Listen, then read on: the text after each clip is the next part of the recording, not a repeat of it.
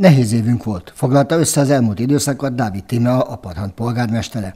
De ennek ellenére azt mondhatom, sikeres is, hiszen a terveink nagy része már a megújult utcákban, az elkészült és korszerű ingatlanokban köszön vissza. Több magyar falu programos és egy belügyminisztériumos pályázatunk volt folyamatban így a Petőfi utca járda felújítása, a József Attila utca felújítása, az Apari Kávária, az orvosi rendelő eszközfejlesztése és a védőnői szolgálat felújítása. Hál' Istennek a tekintetben szerencsések vagyunk, hogy az áremelkedések ellenére is meg tudtuk valósítani ezeket a beruházásokat, le is zártuk fizikailag őket, a szükséges önerőt hozzátette az önkormányzatunk, úgyhogy az idei évben ezeknek már csak az adminisztrációs, tehát az elszámolási feladatai vannak hátra. Ehhez a csomaghoz nagyságrendileg 105 millió forintos támogatásra volt szüksége a település vezetésének. Nyilván az idei évben a jelenlegi körülményeket ismerve nehezebb lesz a helyzet.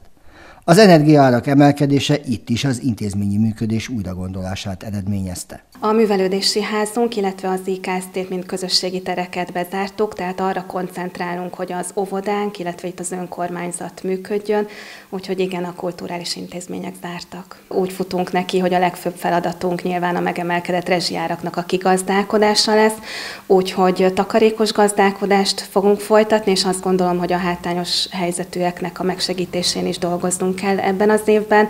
Nyilván figyelni fogjuk a fejlesztési lehetőségeket, így a Magyar Falu program, vagy akár a belügyminisztériumnak a pályázati kiírásait, és egyébként három pályázat elbírálását várjuk, úgyhogy a Top Plus-ban pályáztunk a művelődési ház, a sportöltöző felújítására, valamint a Vörösmart és József Attila utcáknak a felújítására. A Parhant azon kevés kis települések közé tartozik, ahol még működik általános iskola amit a helyiek nagy kincsnek tekintenek. Az iskolánk jelenleg működik, igyekszünk az önkormányzat támogatni, amiben csak tudjuk, mert hát szeretnénk, hogyha továbbra is az aparhantiak és a környező települések ide iratnák be a gyermekeiket, hiszen sajnos egyre alacsonyabb létszámmal működik, és szeretnénk, ha jövőben is fennmaradna, hiszen egy falunak a jövőjét az biztosítja, amíg van óvodája és iskolája. A település ünnepeinek megszervezésében a helyi önkormányzat nagyban támaszkodik az itt működő civil, elsősorban nemzetiségi önkormányzatok segítségére. Az idei évben is szeretnénk kulturális programokkal színesíteni a falu életét,